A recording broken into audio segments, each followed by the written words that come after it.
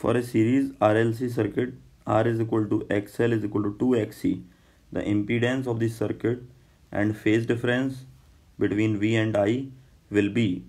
So in this question first of all they provided that R is equal to XL and um, XC is equal to R by 2 fine and of course R is equal to R initially. So there is a series combination.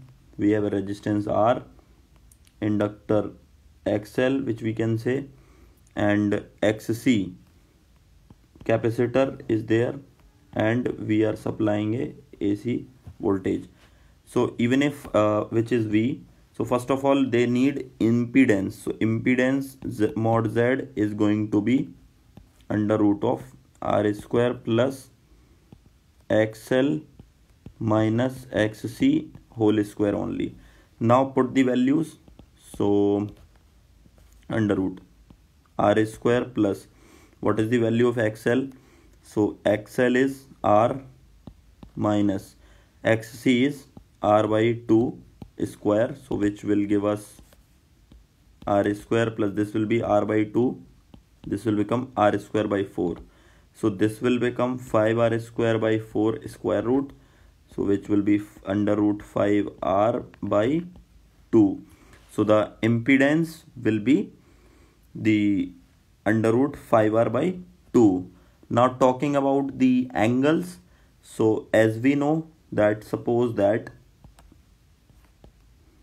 resistance and voltage will be in this same line. So suppose this is the voltage and this will be of resistance only.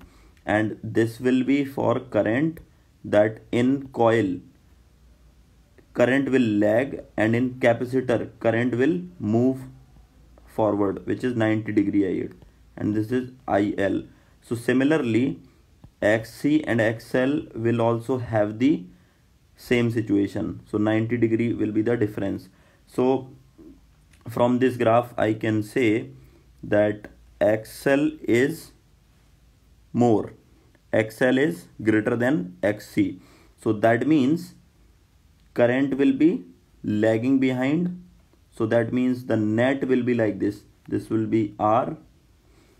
This is R and this will be XL minus XC which will give us nothing else R by 2 so this is R. So net will be in this direction. So say angle phi vectors are free to move. So this vector can be written here which is r by t r by 2 so now from there we can calculate tan phi is equal to r by 2 divided by r which is coming out to be 1 upon 2 so the value of phi phi I can write